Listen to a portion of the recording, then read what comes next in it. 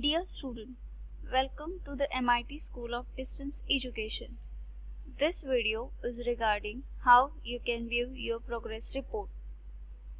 You have received an email regarding eLibrary login credentials along with the eLibrary link, the username and password in which your username will be your registered email ID and password will be your student ID.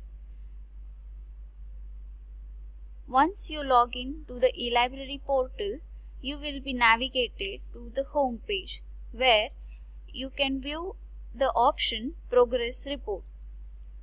After you click on the Progress Report, you will be able to view internal and external marks that you have scored in the exam. Thank you.